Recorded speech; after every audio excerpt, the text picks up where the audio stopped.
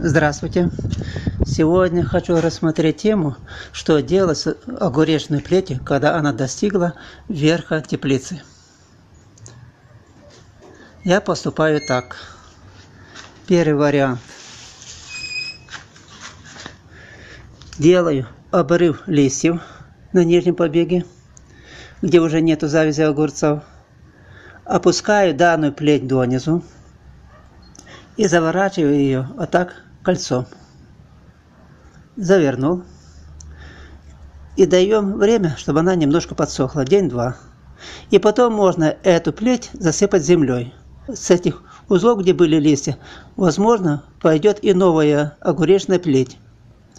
Но если не пойдет, то будет усилена корневая система. Так как у меня корневая система богатая, то я здесь ничего не буду предпринимать. Так ее и оставлю на этом месте. И другой вариант давайте рассмотрим, что можно сделать, если данная огуречная плеть достигла верха теплицы.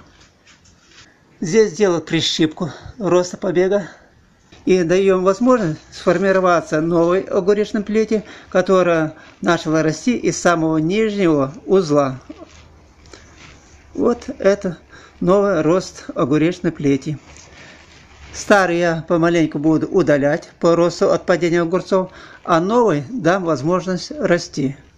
И потом, если она достигнет вверху, повторяю тот же самый этап несколько раз.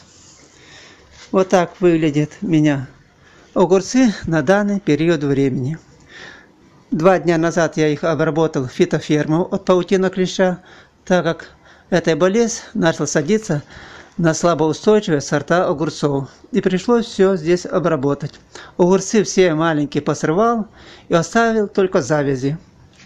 Как видим, огурцов почти и нету здесь, потому что они были все сорваны.